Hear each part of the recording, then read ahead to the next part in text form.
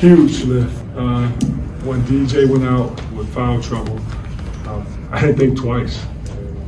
Uh, Frankie, uh, he's been playing well.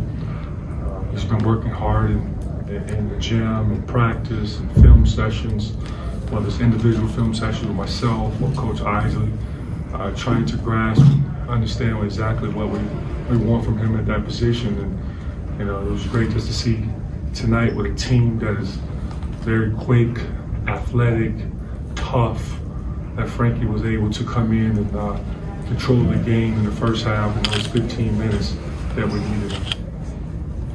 Andrew? Juwan, uh, as far as the things you wanted to see different from from the last game, you know, the, the energy and you know guys accepting coaching and things like that. How, how do you think you know your guys did? You know, they, they made a run, obviously. How did you guys handle it? I passed with an A plus, uh, you know I'm, I'm the teacher and I'm grading them. So uh, with that, um, I didn't I didn't expect anything different because they're all high character individuals that compete, uh, tough competitors that want to do whatever it takes to help the team win. And you know, at times you're going to have throughout 36, 37 games that you may play this year, hopefully, that you're going to get like one or two games uh, where you're going to have have something in there where you're like, wow, where did it come from? That's not who we are, because sometimes mentally, um, uh, the team is doing some special things, and Arizona give them credit. They have some guys in their team that's pretty skilled, athletic, that I I projected they, they will be draft picks. And there's two of them I'm thinking about. I just don't want to say the name right now because I do not want to disrespect the others. Good. Hey, Juwan. It seemed like Tarleton State was doing a really good job speeding guys up in the half court. Uh, do you think that that was part of the reason you guys had 21 turnovers, or do you think that was also because players were trying to force passes and make home run plays?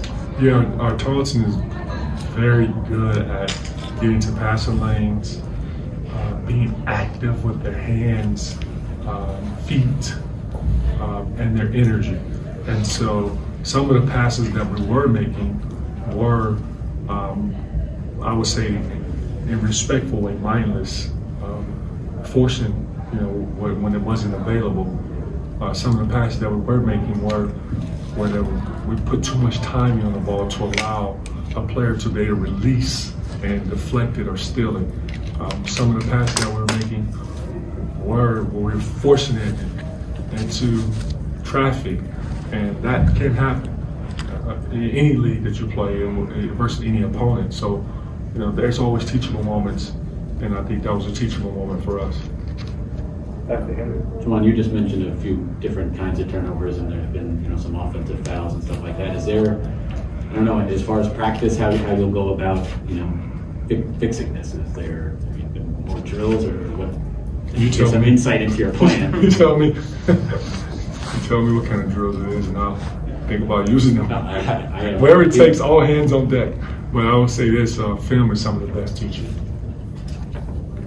Uh, Juwan, I don't, I don't know exactly what the plan are. I've seen the players get a little bit of time off for Thanksgiving, but you guys don't play for a week. How beneficial can it be after making some trips, playing a game pretty much every three or four days to maybe have some time to look inward?